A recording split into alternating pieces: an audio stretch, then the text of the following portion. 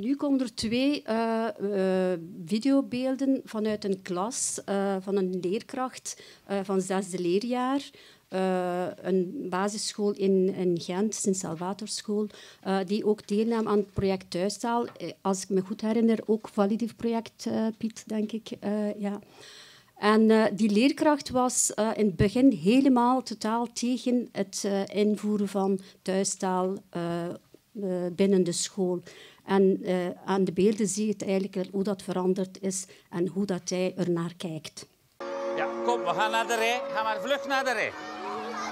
Op de speelplaats, dat was het meest stresserende kwartiertje dat er was. Want wat deed je? Je was eigenlijk Sherlock Holmes. Je liep overal rond om te iemand die niet Nederlands sprak, de betrappen, die vlogen langs de kant, werden gestraft. En toen dacht je eigenlijk, ja, we zijn hier constant bezig aan het bestraffen. Dus we waren vooral aan het focussen op dat alleen maar Nederlands spreken. Acht jaar geleden werd het voorstel op school gebracht van we gaan de thuistaal toelaten. En ik moet zeggen, ik had daar heel wat bezwaren tegen. Wie heeft er nog allemaal familie wonen die niet in België woont? Wie woont... Semich? Uw oma, waar woont hij? Turkije. Eileen? Ook uw oma, waar woont die? In Pakistan? Mijn grootste angst was dat ze geen Nederlands meer gingen praten. Dat ze alleen maar hun eigen thuistaal gingen, gingen praten.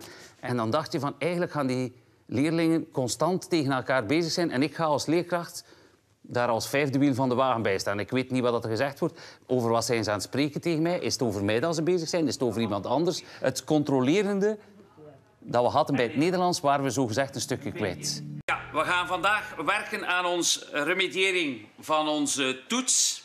Belangrijk is dat je werkt aan de tafels.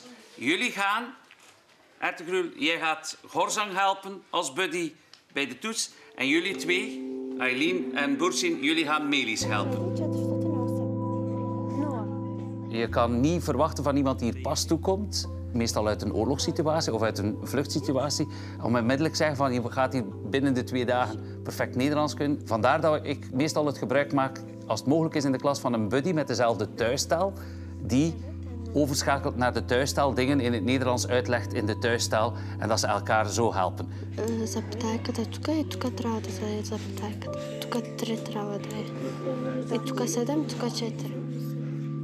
Melis is nog maar een half jaar op school. Ze krijgt hulp van haar buddies, twee Bulgaarse klasgenoten, Aileen en Burshin. Als zij iets niet snapt, wij, um, wij kunnen haar helpen. In het begin was bij haar moeilijk en nu, nu nog een beetje beter. We merken dat dat aandeel in het begin zeer groot is. Dat de thuistaal 80, 90 procent van de, de tijd inneemt, 10 procent in, in, in, het Nederlands. Maar dat dan na een tijdje drie, vier weken verandert naar de helft de helft. En je hebt heel wat leerlingen, en ik heb dat in al die jaren nu al duidelijk gemerkt, leerlingen die zo na twee of drie maanden zeggen, ja maar, doe maar in het Nederlands hoor, ik kan nu voldoende Nederlands. Ik zie dat jullie zeer goed bezig zijn. Kan je eens uitleggen dat het zeer belangrijk is van alle cijfertjes mooi netjes onder elkaar te schrijven bij het cijferen? Трябва нали тези цифри хубаво да ги такова нареждаш долу Ja, uh, die uh, beelden werden ook getoond uh, van tv-programma Koppen in mei 2016, denk ik. Uh, nu komt er een uh, uitvoering van functioneel meertalig leren, hoe dat het eigenlijk wel in de klas uh, een vorm kan krijgen. Onderwijscentrum Gent heeft vorig jaar via een project gewerkt aan een tool, functioneel meertalig leren voor leerkrachten van secundair onderwijs, via een netwerk van een aantal scholen in Gentse. En om, om die tool een, een body te geven en te laten uh, afstemmen met de uh, realiteit van de leerkrachten in de klaspraktijk, hebben wij een aantal leerkrachten uh, interviews opgenomen en een video gemaakt. Het video is nog niet volledig. Als je geen rekening houdt met de thuistaal van de leerlingen, dan houd je eigenlijk geen rekening met een stuk van hun identiteit. Dus zij brengen heel veel bagage mee en wie ze zijn, welke taal ze thuis spreken. En daar zit ook heel veel belangrijke kennis die ze kunnen inzetten om het Nederlands machtiger te worden. De thuistaal is de taal waar onze leerlingen zich over het algemeen het meest comfortabel bij voelen. Dus de, hun thuistaal betrekken bij het lesgebeuren kan ervoor zorgen dat ze iets meer zelfvertrouwen hebben uh, en iets meer spreekdurf tonen. Ook voor de opdrachten in het Nederlands. Ik vind het interessant om dat als meerwaarde te zien, zowel voor de leerling als voor de leerkracht. Uh, omdat het motiverend werkt, omdat het gemakkelijker is om bepaalde doelstellingen te bereiken. Ik heb uh, uit ervaring ondervonden dat het niet altijd heel eenvoudig is om de leerlingen in het Nederlands iets uit te leggen. Vandaar dat ik een beetje ben teruggevallen dan op de thuistaal. Eerst heb ik dat geprobeerd met visueel materiaal en dan ben ik begonnen met de leerlingen zelf dingen aan elkaar te laten uitleggen. Dat is een beetje een groeiproces geweest. Van in het begin is het van ik moet loslaten. Zorg ervoor dat je de talige achtergrond van de leerlingen goed kent, zodat je die heel specifiek kan inzetten tijdens de lessen en ook je opdrachten eraan kan aanpassen. Als je aan de slag gaat met de thuistaal van de leerlingen, maak dan duidelijk afspraken met de leerlingen wanneer die thuistaal wel en wanneer die niet kan ingezet worden, zodanig dat dat echt wel functioneel is zie functioneel meertalig leren niet als iets wat er weer zou bovenop komen en boven al het andere werk, maar ga echt gaan kijken in je handboek, in je lesmateriaal van waar zou ik op een of andere manier dat functioneel meertalig leren kunnen inpassen. Je kan er altijd zelf mee experimenteren. Je hebt het zelf in hand, je laat het zoveel toe zoals je zelf wil. Dus jij hebt er de controle over, dus probeer het uit.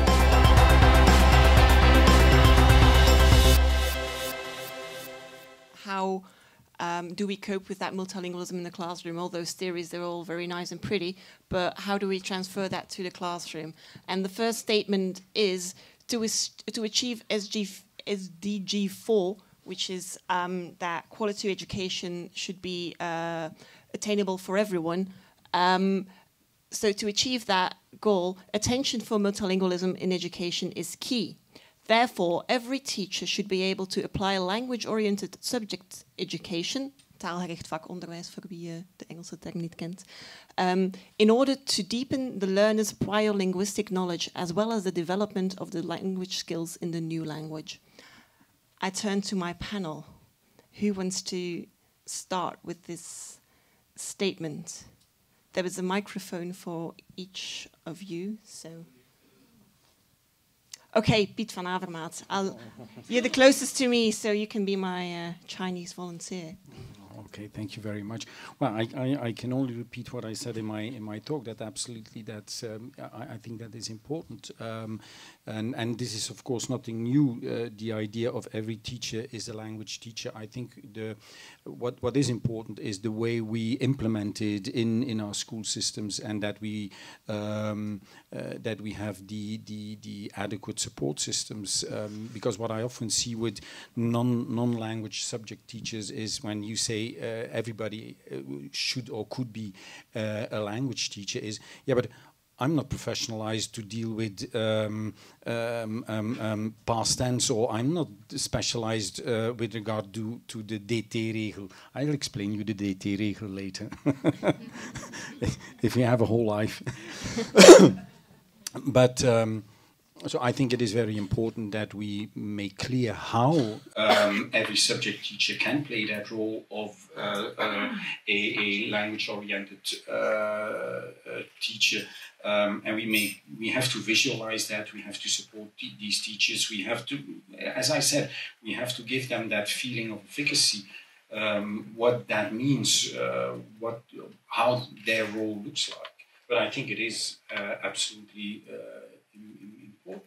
because these, these teachers use language and different language repertoires and can use these the different language repertoires um, to, to deconstruct knowledge. Knowledge. When I'm a maths teacher and, and I, I, I have to teach about uh, Pythagoras theorem, um, I use language. So yes, uh, a maths teacher can be a language teacher. Okay, so what I hear you saying here is that every teacher should be aware of how he, he or she uses languages. Um, I think that teacher education teacher education is going to play a major major role in that. Um, but Minister Gatz, um, how do you think policy can affect that? Because of course there's a difference between what policy can decide and what uh, the work field can do. Um, mm-hmm. How do you see that happening in Brussels? Because Brussels, of course, is also a very interesting setting. Well, as you know, in theory, a policy can affect almost everything, yeah? but it's a matter of vision and of political will. Yeah? And um, I think that uh, not being the Minister of Education in Brussels coping with um, um, a two-speed um, educational system, Flemish and French-speaking, eh, as you always as you all know.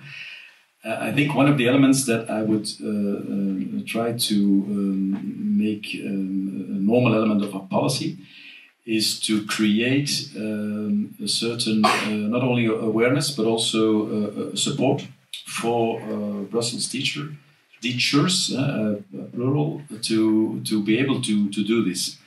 I give you an example of, of how practical this can become because I heard I heard from um, Piet uh, that we are not into kumbaya multilingualism. I'm just uh, totally, uh, uh I totally agree with that. Eh? We have to be, at certain extent, very practical. Uh, we have the Onderwijs Center in Brussels, who is a, a support organization for the Dutch-speaking um, schools in Brussels. 100 people for all these schools. This is quite a lot of uh, people who, who, do a good, very good job. But the, um, at the French-speaking side, this doesn't exist at all. Eh? So, what are we going to do? Are we going to stretch on the West and Brussels to do everything for the French-speaking uh, teachers too? It's, I think it's a bit difficult, also on a political level. But we have to create an interface between the, the Dutch-speaking and the French-speaking system, whether it be with agreement of the, um, the two communities. We will have this dialogue and we will see if this is possible. You always have to create a dialogue, always. Eh? If people say no, they say no. That's their democratic right to do so. Eh? But we will have the dialogue. If this is difficult, but there is an opening, eh? because in the Flemish uh, um, government uh, agreement there is. Um, of the government declaration, there is uh, a mentioning of um, exchange of uh, language teachers. So that's interesting. There is something we can grasp and say, ah, it's there. You have to do something with it. but even if it doesn't, yeah, that's how politics also work. Uh, if it, it, doesn't work between the, the big brothers, the Flemish and the French-speaking community, I think with the um, French-speaking colleague, which, which is uh, Rudy Vervoort, the Minister-President of the Capital Region, is in charge of the French-speaking schools, and I'm in charge of the Dutch-speaking schools. We have to create this kind of interface and awareness and support one way or the other. Eh? Because, for instance, and then I, I, I, I leave it to that, uh, with immersion, the, the French-speaking colleagues have much more experience than we do, but we have a better support for um, also an approach of multilingualism. Yeah? And so we can exchange these things, and we will and we should. Okay, so I think that Brussels is going to be a very interesting area to look at. But it will take some time. It will take some time, okay. Duly noted.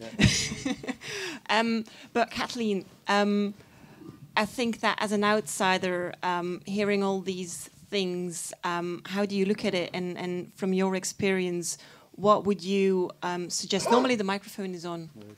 I think it's on. Hello. It's on. You're good. Um, so when it comes to the statement and when it comes to the information that you've heard so far, um, what, as an outsider, what kind of perspective or advice could you give us? Because I think that with uh, your experience from South Africa and Australia, yeah. we can always learn.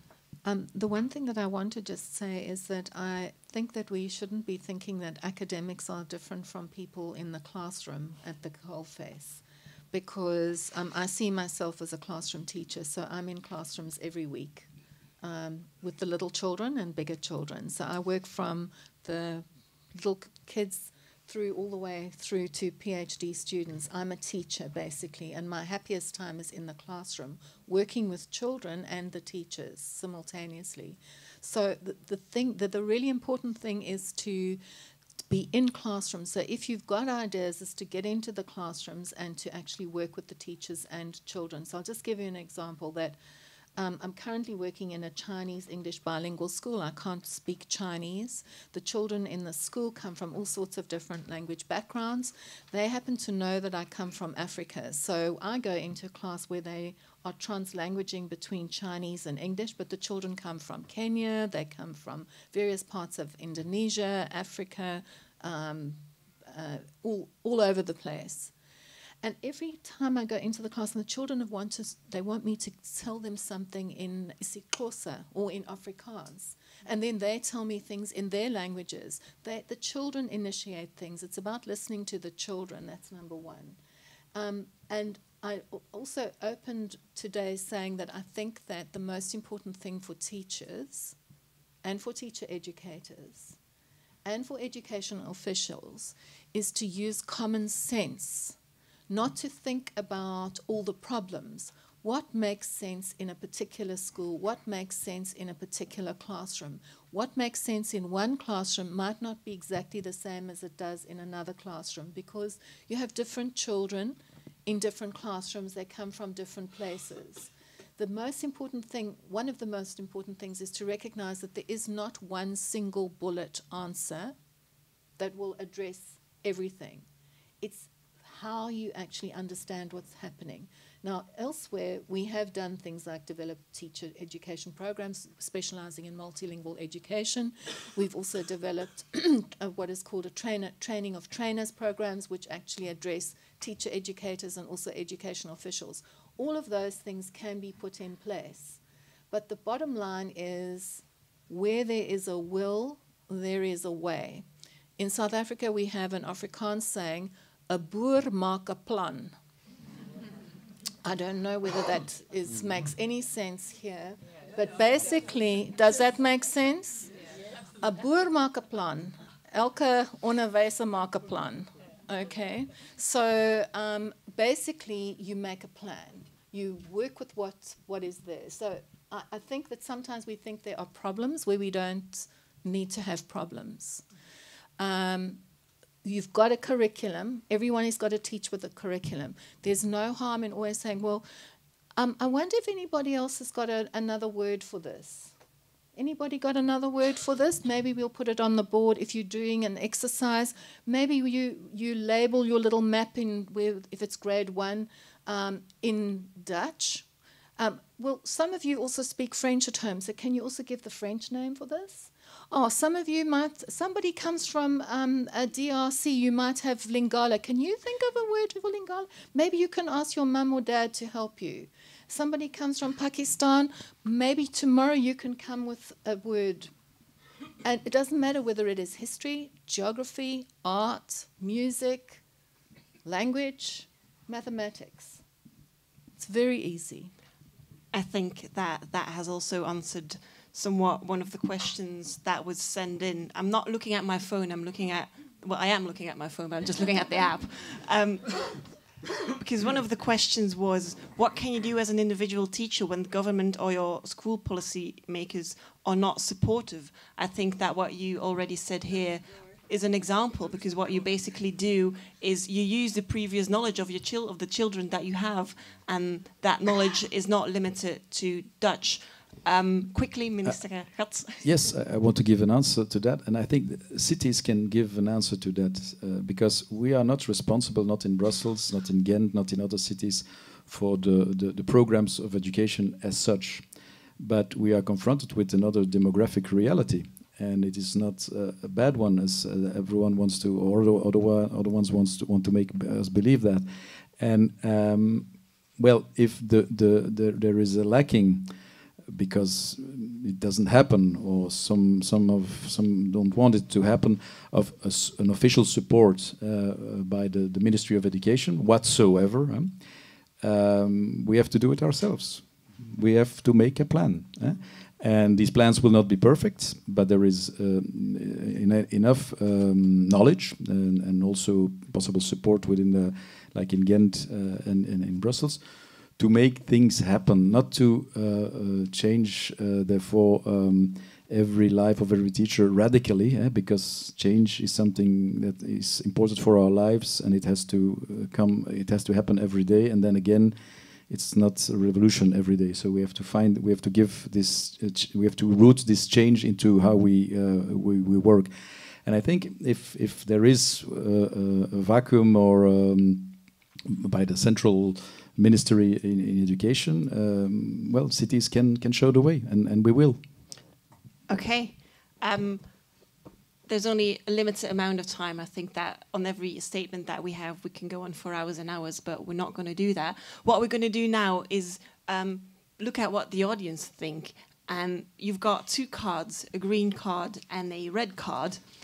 And the question is simple, namely, do you agree with the statement yes or no? Um, red, obviously, is no, I do not agree, and green is yes, I do agree. Um, so put up your cards and let us see how you feel about the statement. Do you think every teacher should be able to apply a language-oriented subject uh, education?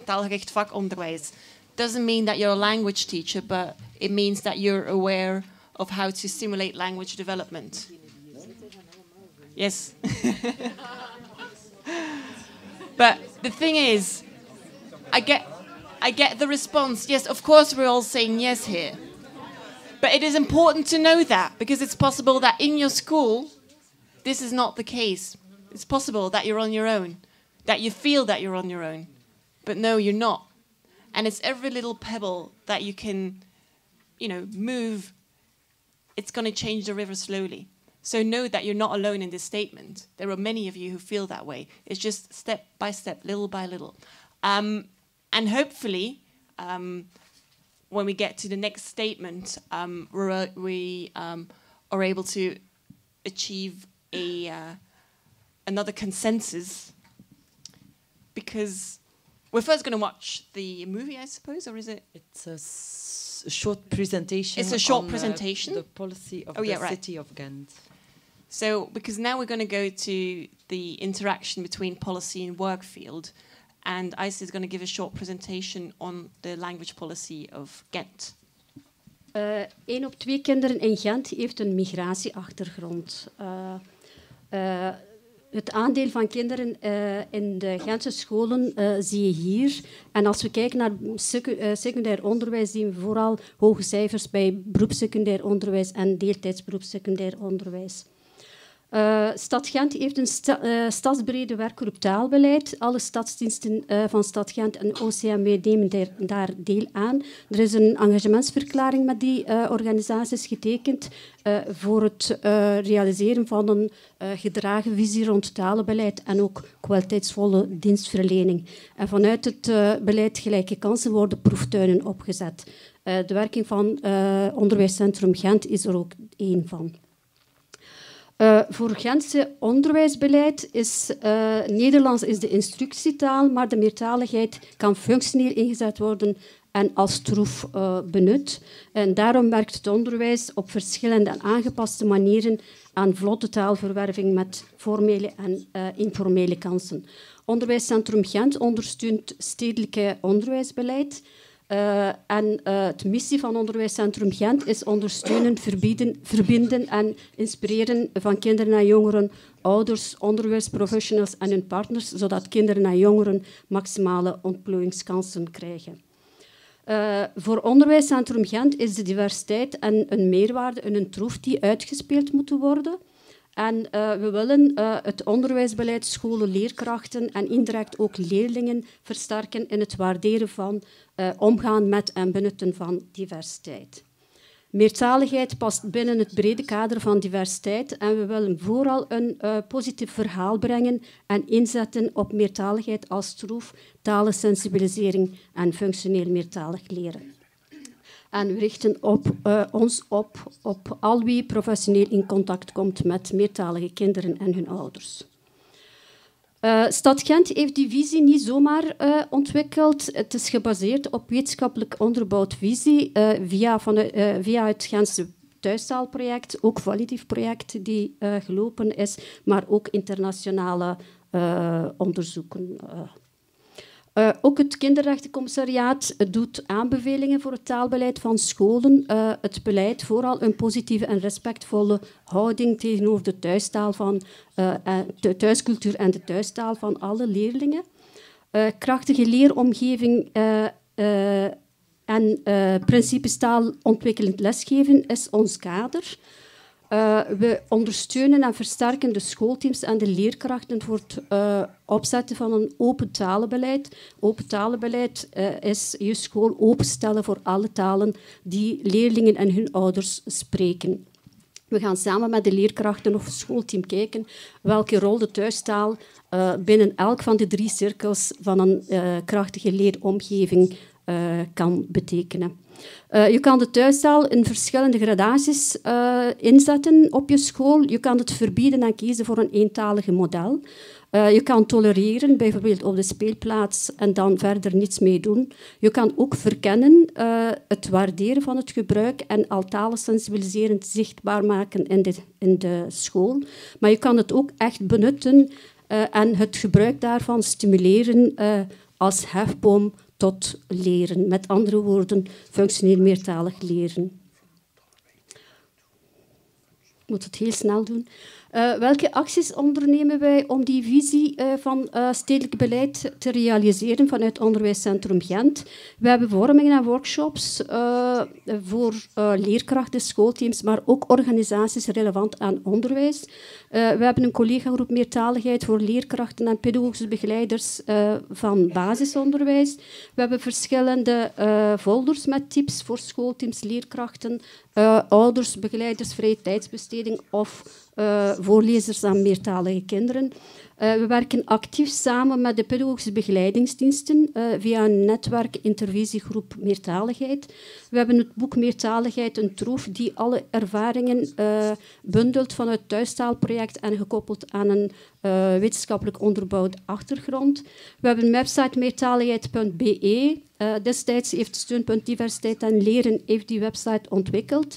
En uh, vorig jaar heeft Onderwijscentrum Gent in samenwerking met verschillende partners uh, het uh, vernieuwd. over functioneel meertalig leren zal ik het niet veel zeggen, maar we hebben vorig schooljaar een project gelopen. Ik heb het ook bij de inleiding van die film al gezegd. we hebben een tool ontwikkeld dat de leerkrachten of schoolteams als handleiding kunnen gebruiken als ze thuistaal een plaats willen geven in een school.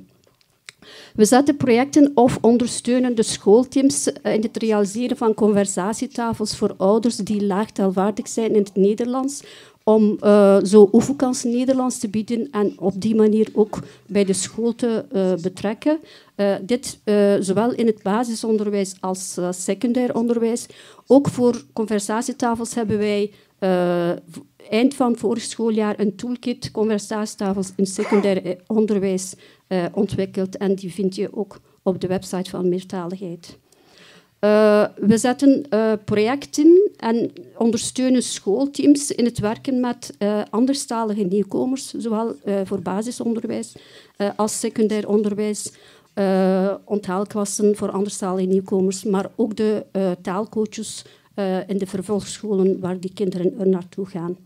Uh, momenteel loopt het project Transfer. Het doel van het uh, transferproject is via een netwerk samenwerken aan een geslaagde onderwijsloopbaan voor derde landers.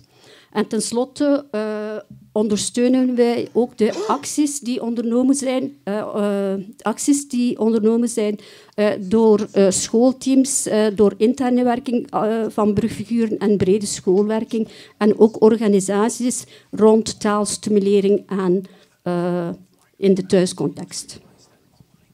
Voilà.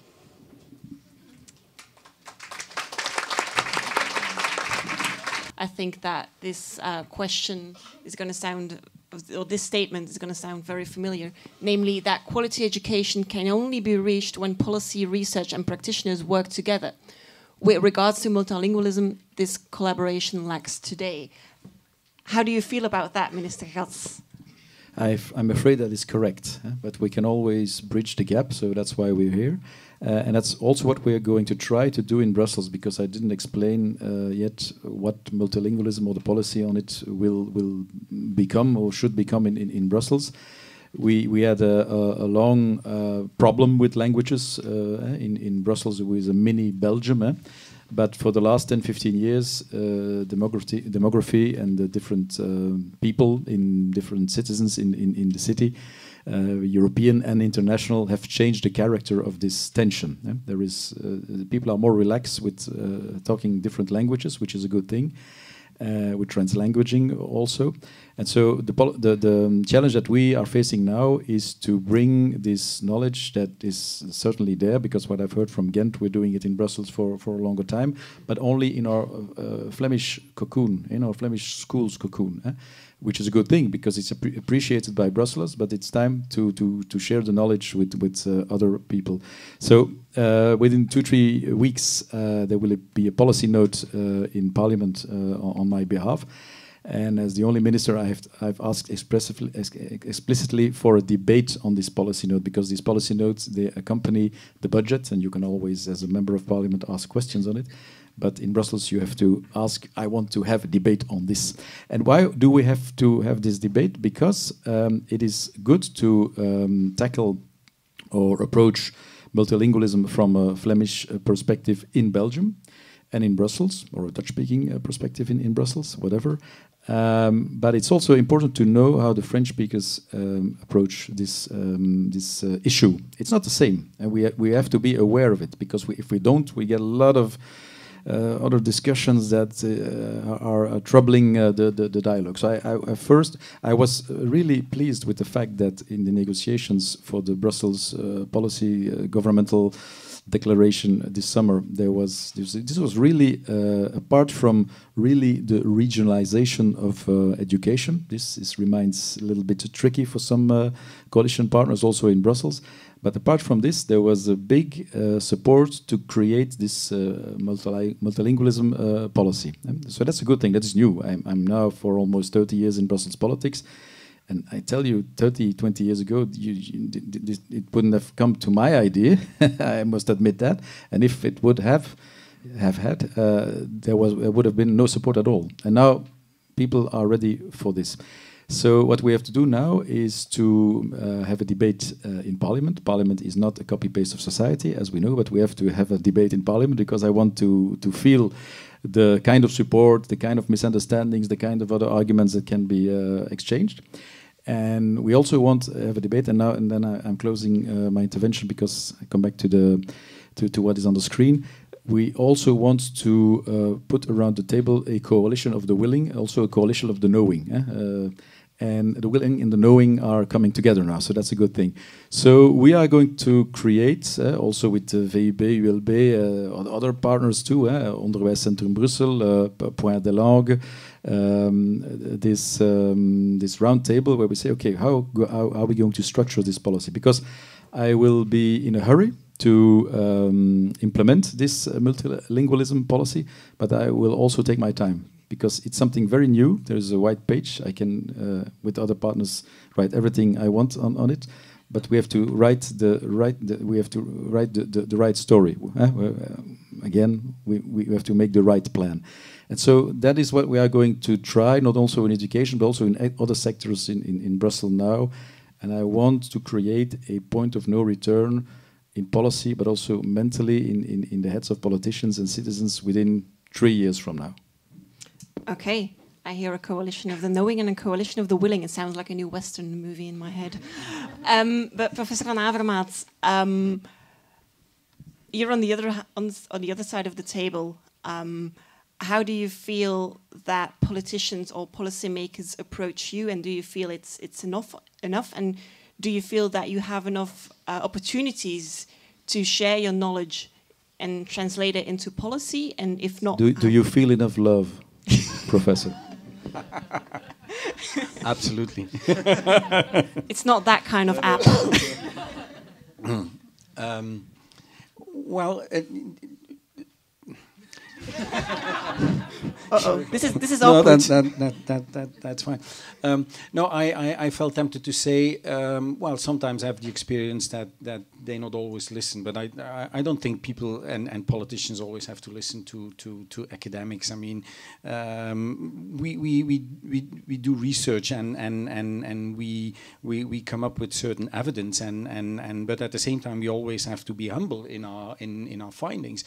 Um, but at the same time, what I think is important is that uh, we as academics, and that was the point I wanted to make as well, that uh, my, my, my invite to, to all of you to take up that advocacy role, and I think this is very important that we as academics also take up that, that advocacy role. So we have to create these opportunities um, for interacting and, uh, and, and communication, and sometimes it depends on, on, on coincidences. Um, and, and we always have to be aware as academics um, I mean, there is no absolute truth in the, the, things we are working on, but we and, and we carefully have to think on how we frame things and how we reframe things.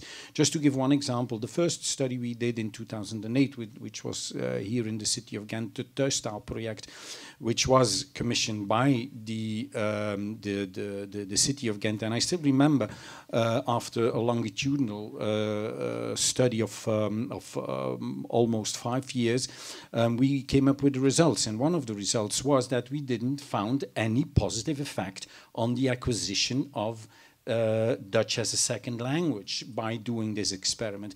First reaction of the alderman was not the picture, it was the previous alderman, the alderman of education. Oh, how on earth we invested so much money, five year study, and we didn't find a, we, we didn't find uh, a positive uh, effect. And this realized me that we as researchers always have to be careful in the way we frame it we, we immediately reframed our communication and we said, look, what is the assumption? What is the deeply rooted assumption that exploiting the multilingual repertoires of children will have a negative effect on their L2 learning? The fact that we didn't found an effect was in this case something positive because we didn't find that negative effect. So that's also our role that we have to play in framing and reframing our findings and uh, in, in uh, interacting with, um, with, with politicians, with policymakers. But um, the, minister rightly said, and I fully agree with that, that it, I do think that I'm strongly convinced that it is at the locality at the level of the localities that we that we can make uh, the difference because there the multilingual realities are being ex uh, experienced by everybody. There you see a lot of commitment, a lot of feeling uh, of belonging by people living in the cities um, more than at the subnational of national level. So it is at the level of the locality, I think, that we have to do it. But besides the political and policy level, I think we as academics also have to work, um, as Kathleen says, we have to work with the schools. We have to take into account their, uh, their, their, their, feelings of concern, the fact that they don't feel um, confident in what they do, and we have to start from there and work with them. Okay, so that's a very interesting uh, view, and a lot of things can uh, can be done with that. But Kathleen, how does uh, it work in Australia and in South Africa? How do uh, academia, work field, and policy makers work together there? What I will um, talk about is where things work well, and um, well, very briefly, with the changeover from the apartheid regime to the post-apartheid South Africa, it was an NGO that actually brought about a change in language policy that got enshrined in the constitution. So it was a very small little NGO with a couple of people involved in this.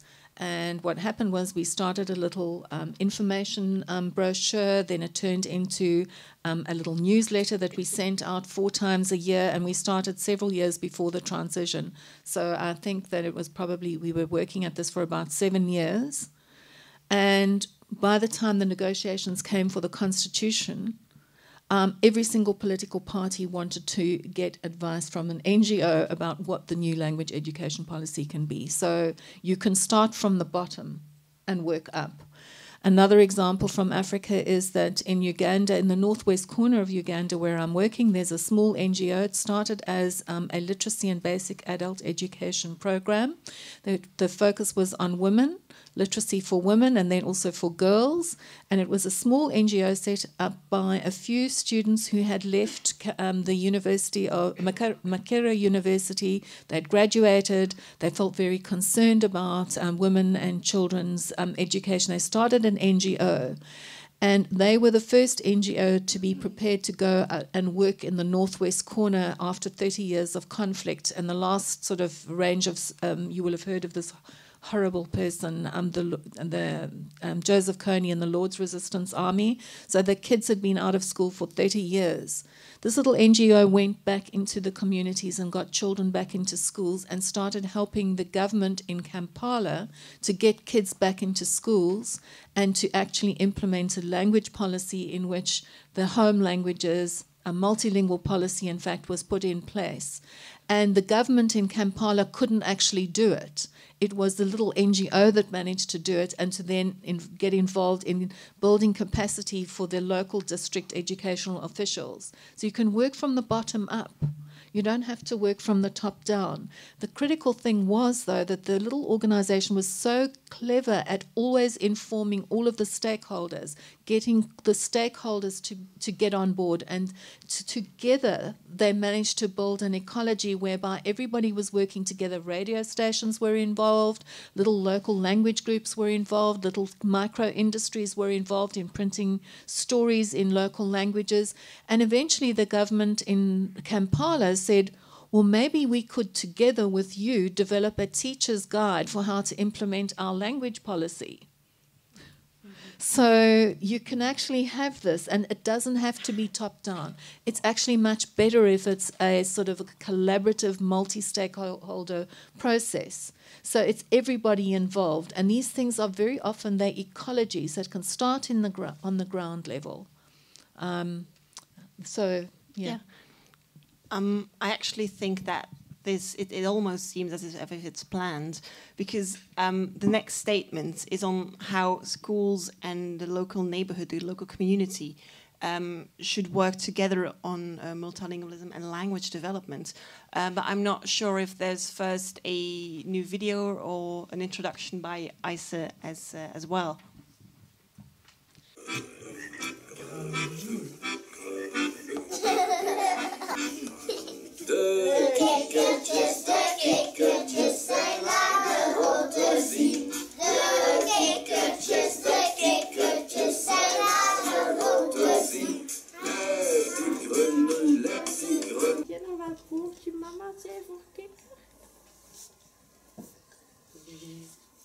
Jiba.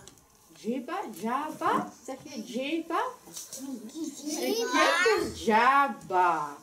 En wat zei jouw mama? Jij was er niet bij, je was al gaan spelen. Hoe zit jouw Jaba. Zaba. Heel goed, zei dat is precies twee keer hetzelfde.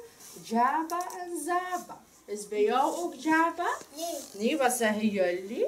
Turks. Ja, jullie spreken Turks. En wat woordje? Kurba. Kurba. Goed, kurba. Mijn mama heeft het kurba. Jouw mama wist het ook, hè? En Sarah. Ik weet het niet meer. Weet je het niet meer? Kijk eens naar de lettertjes van Sarah. Het zijn de lettertjes die wij schrijven in de klas. En de mama's van... Ja, die is van jou, hè? De mama's die het Turkse woordje geschreven hebben, die schrijven ook die lettertjes. En de papa van Stevie heeft ook die lettertjes gebruikt. De mama van Sarah gebruikt die ook zo lettertjes? Oh nee. Dat zijn andere letters, hè? dat zijn Arabische tekens. Moet ik het nog een keer zeggen? Ik kan Arabisch lezen hoor. Kijk. Difda. Difda. Difda. Dat klinkt ook een beetje regarder.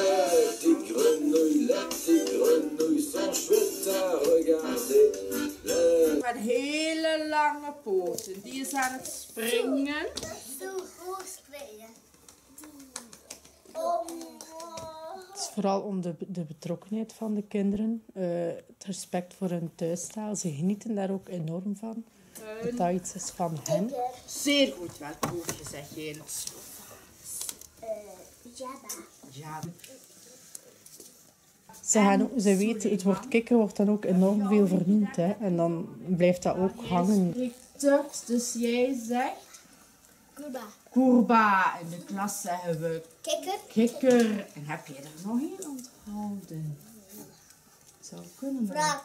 De frog, heel goed. Wauw, kijk, Suleiman spreekt al Engels. Een grenouille. Grenouille. Die grenouille. Ja, maar Stevie, zijn papa, die komt niet uit Frankrijk, die komt uit Afrika. En daar spreken ze Afrikaans.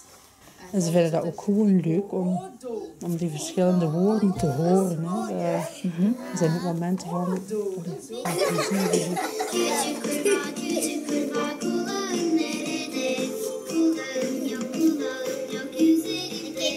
Mama er ook? Ah.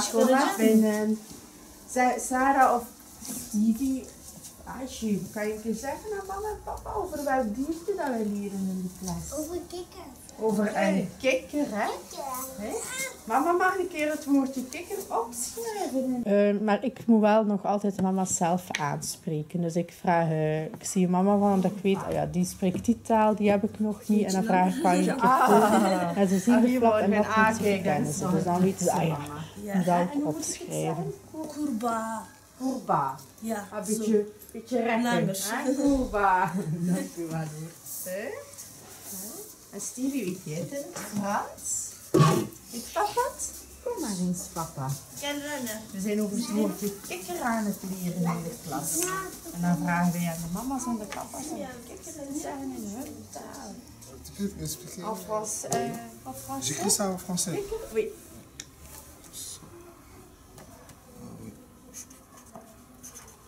En zo weten zij ook waarover dat we leren in de klas. Hè.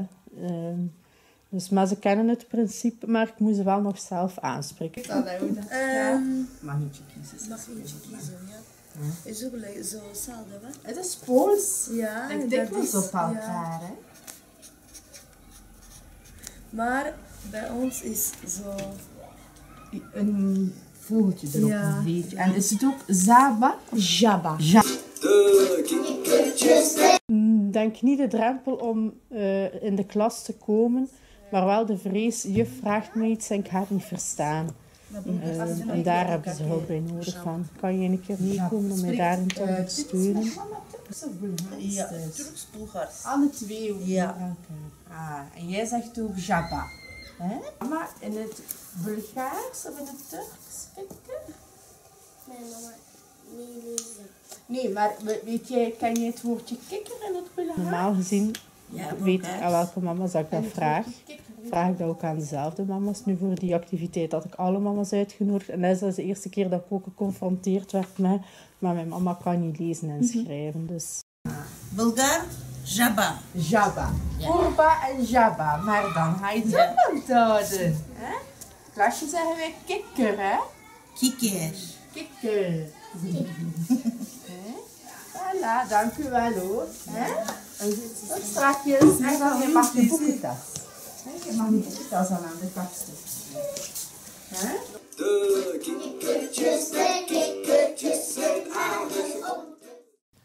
Collaboration between schools and other partners.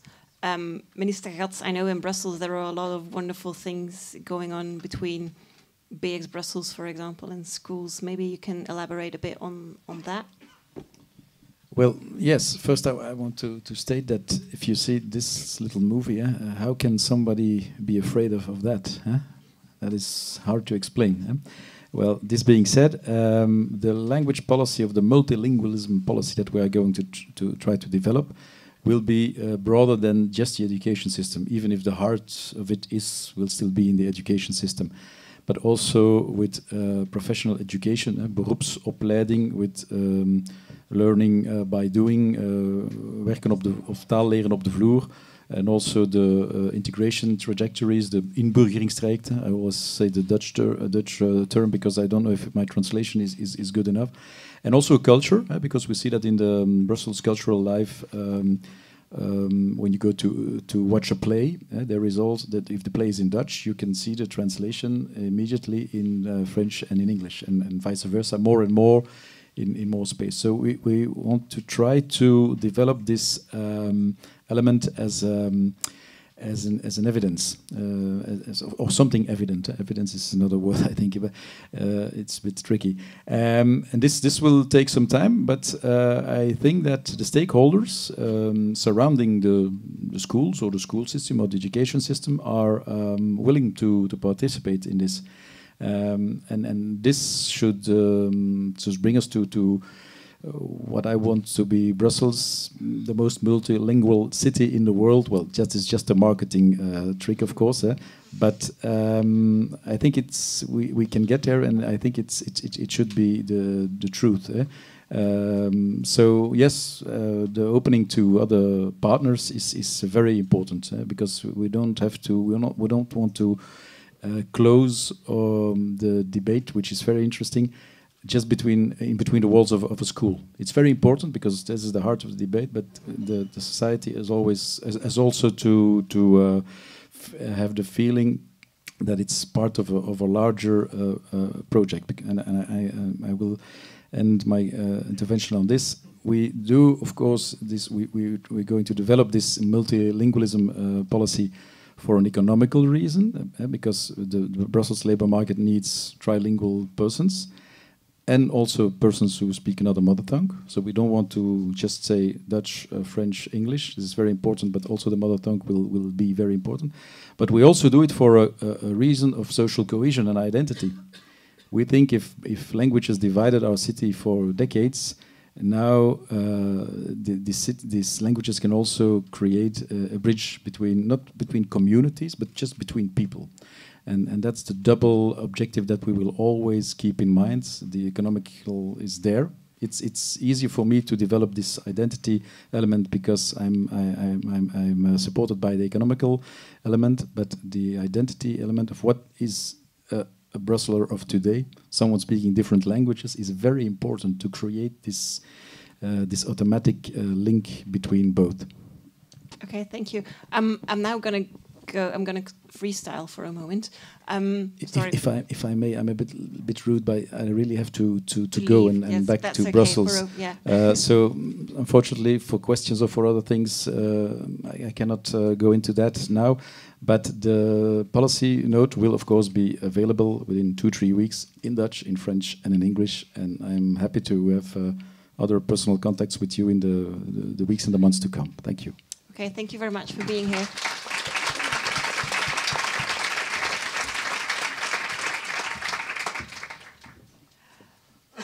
As I said, I was planning on freestyling a bit here because I know that we've got a panel here, but I would like to know from you what are you doing as a school, as a teacher training to collaborate with other partners? Do you've got inspirational stories here that you can share with us as well? Or not? It's the risk of freestyling, of course. Yeah, I teach um, little children of three years old. So um, in Brussels. So that means I have no children that are Flemish speaking. Um, and my question at the moment, my most important question at the moment is um, I work at a school that we are already working hard at language and language skills. And we are um, at the point that we know the um, uh, mother tongue is very important. And we are now questioning the parents about their mother tongue and what they think about it. And we find, um, we yeah, we found that at the moment there are surprisingly a lot of people that if you ask what is your mother tongue, that they do not even know how to answer that question. They cannot say, we speak to our children in that or that or that language. They say we speak and that language and that language and that language and that language.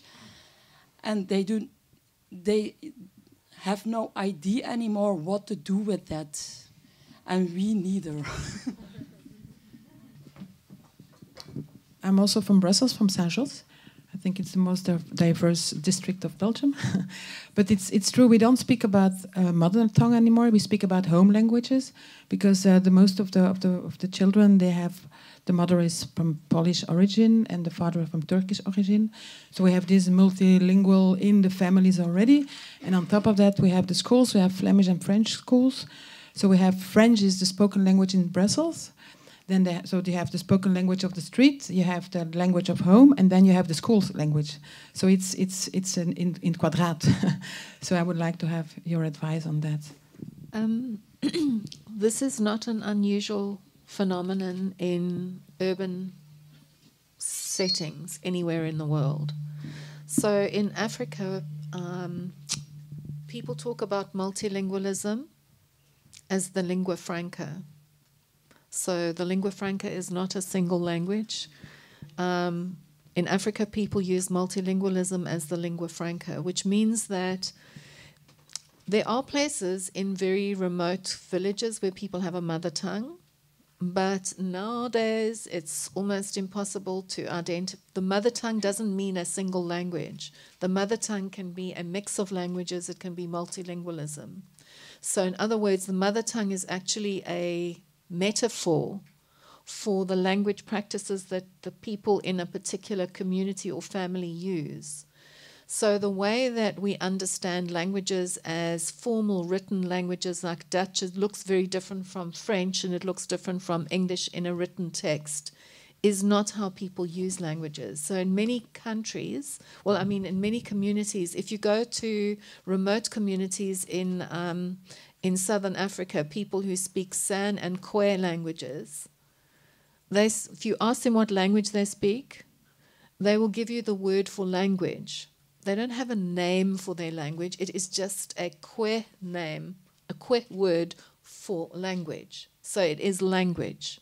And so people don't think about language in the same way that we have come to see languages as separate.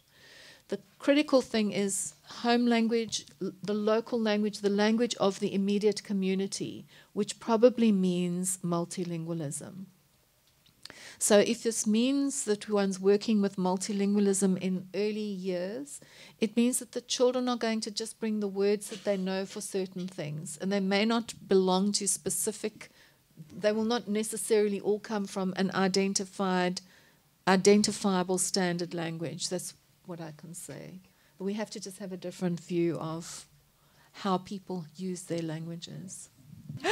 Uh, so if the purpose was to get more students to this above this average level to, to, to give them more opportunities for studying later is the research how, how they construct uh, knowledge in this multilingual lingua franca? Because that's what you would have to know to understand their uh, thinking processes with these multiple languages to be able to help them in the, the, the school language or Dutch or, or not maybe not maybe it's a, a wrong question I don't know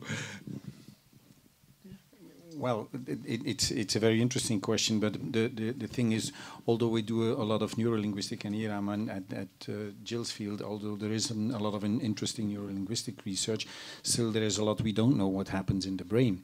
Um, uh, what what is for sure is that uh, our brain, with regard to languages, isn't structured in the sense that we have a, a, part of the brain which is Dutch and another part which is in. So so it's it's it's far more complex and far more dynamic, and uh, so um, how it works um, is is still hard to to to to answer the question. And what you see is that it, it differs across time. Um, um when when children are at the age of three, it can be it's not by definition, but that can be that one repertoire is more dominant than other repertoires in uh, in the process of socialization. But at a certain uh, period in time, uh, due to, to schooling, uh, another repertoire becomes more dominant, and that might have an impact uh, on on on uh, constructing knowledge. Um, what what what we what we do know is that um, if we provide maximum opportunities in from a didactic perspective in an educational setting, if we provide maximum opportunities for children to exploit all their repertoires uh, in order to, to, to construct the knowledge they have to construct. I, that's the most important uh, thing. So it's it for me the, the answer not just lies in what's going on here, but what what what what are the didactic conditions in order to allow uh, children to use their repertoires as an as an asset for for for learning. Okay. Um, I think we can come to the conclusion that we did not answer this statement, um, or at least not discuss the statement. Um, but that's okay, because the idea was to interact with the audience. The idea was um, to to make sure that questions are answered. And I'm well aware that the number of questions that have been asked and answered um, are very limited. But luckily, there is still the lunch break. So I uh, think we first see the feel good movie or no okay. Okay so there is a little feel good movie that is not going to be shown here again for lunch reasons. Um, there's too much food in it. there is oh yeah we need food. Um, but please do not hesitate to contact everyone with your questions and i think that the app is still working as well. I have to leave because i have to teach in a couple of hours and i need to get back to brussels. Uh, but i hope you have a wonderful rest of the day and i also want to thank Kathleen and uh, Piet for being here. Uh, that's okay. that happens with teachers. Thank you very much for being here.